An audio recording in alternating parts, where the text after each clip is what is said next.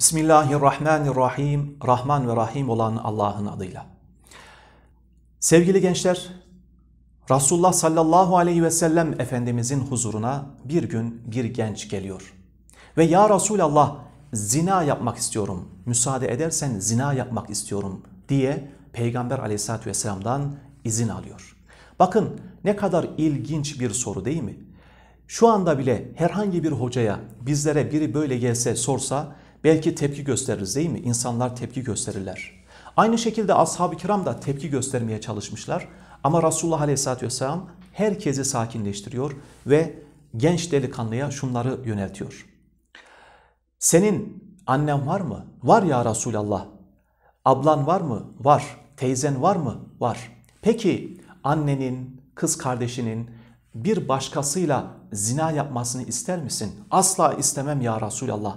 İşte senin de zina yapmak istediğin kadın birilerinin annesi, birilerinin kız kardeşi, birilerinin teyzesi, halası oluyor.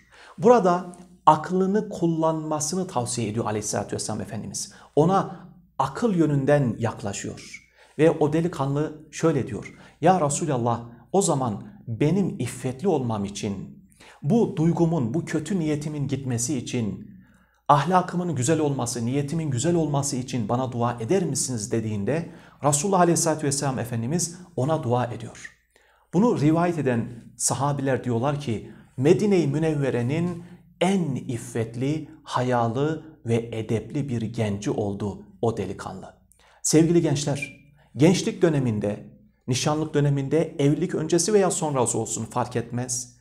İnsan için, Müslüman için en önemli mesele iffettir, hayadır, edeptir kardeşlerim. İffet Allah'tan utanmaktır. Dilin Allah'tan haya etmesi, iffetli olması yani gıybet, dedikodu, yalan, iftiralardan sakınması. Karnımızın iffetli olması yani haram lokmadan sakınmak. Ayaklarımızın iffetli olması yanlış şeylere gitmemek.